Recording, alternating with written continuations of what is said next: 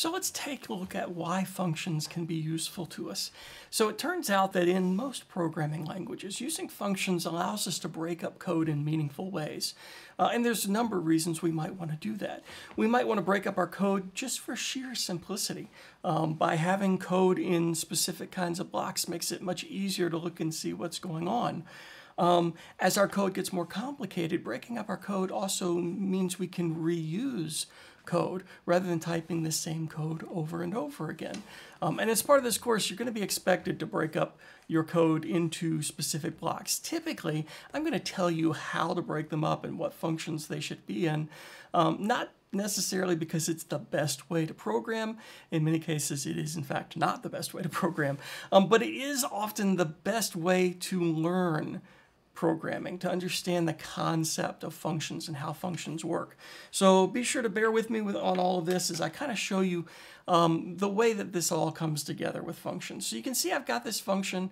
I've created a function called main. In this class, we always have a function called main.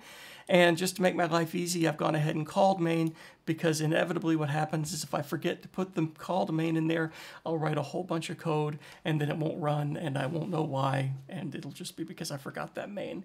So recall that a lot of times, I'm just gonna do a quick copy and paste to save a little time because not the greatest type in the world, but uh, we, uh, we do this a lot, right? We'll ask for a name and uh, we'll print it. And we can see, we check this, we'll see that main calls the function main, and then the code inside there will run, and that's all fine and dandy. What is your name?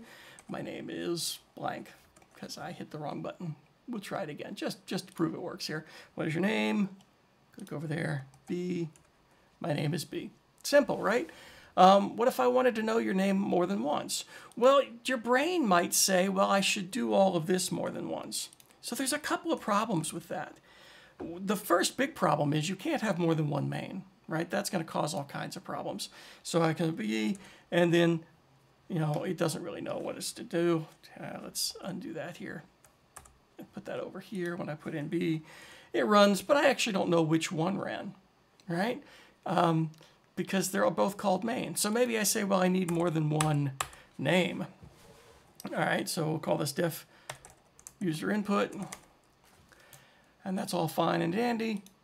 Um, but it's still calling this def main because all that stuff is inside main. So typically, we're on the right track with this. We, yeah, we do want more than one function, but we don't want the same code in each function. That's redundant.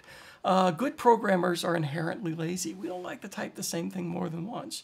So now that I've created this new function called user input that has this user input, instead of putting it here, what can I do? Well, I can just call user input, right? So just like I called main from here, I can call user input from here. So if I put user input in here as a call, a simple call to user input.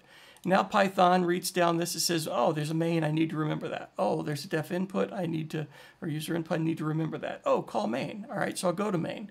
Now I'm in main, oh, there's a call to user input. So I'll go to user input and run this code. So watch, when I run this now, we're still gonna get that same, what's your name? Cool. And let's say I wanted to ask it more than once. Well, instead of writing the same code again, now that I've got a function, I could just use the same function again. So now it says call user input. And then when user input is done, it's going to call user input again, right? When it gets to the end of user input, it goes back to main, see if there's anything left. Yes, there's another call. So it comes back to user input. When it gets there, it'll go back to main, nothing's left, and it's done. And just to show that it will done, we'll go ahead and put a print statement main print. Finished. Just so that we can see that it's actually returning. Oops. So let's run that. What's your name?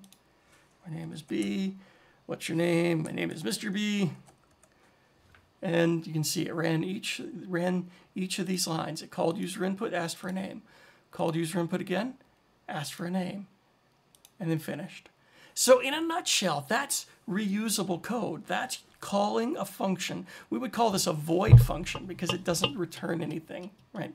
It just does something all by itself. You'll understand what I mean by return in the videos that are coming up.